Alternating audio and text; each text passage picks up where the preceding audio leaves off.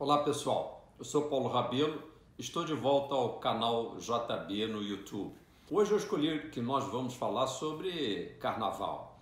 Carnaval e economia. Será que isso dá samba?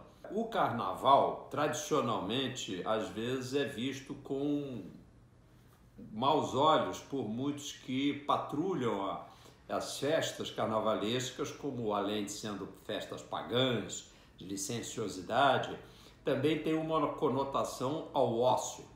O Brasil para para brincar carnaval e isso teria uma conotação de perda de PIB, de perda de atividade econômica, portanto, o Brasil perdendo uh, valor. Eu quero argumentar que nada mais longe da verdade. O carnaval um dia foi realmente uma brincadeira coletiva, uma manifestação muito paroquial e que aproveitava os poucos momentos de folga do povão.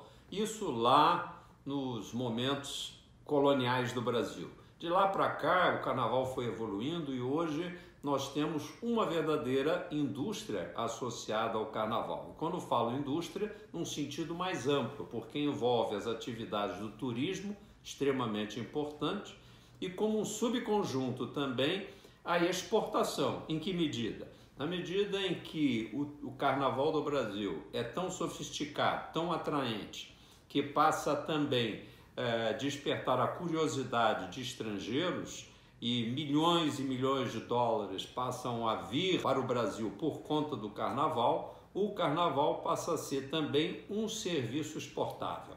São dimensões econômicas criadoras de valor, não destruidoras de valor. E se a gente, por, no entanto, não gosta de carnaval e aproveita os feriados para fugir e se deslocar para um lugar aprazível?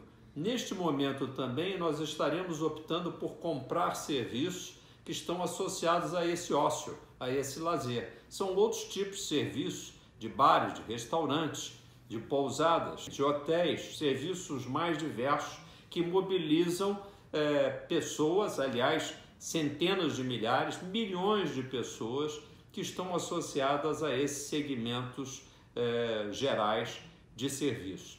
Todo esse conjunto é o que a gente poderia chamar de economia do carnaval. Pena que os economistas ainda não tenham chegado a um número redondo, nem o IBGE deve ter feito ainda essa conta. O carnaval gera PIB. Isso a gente está dizendo com muita segurança.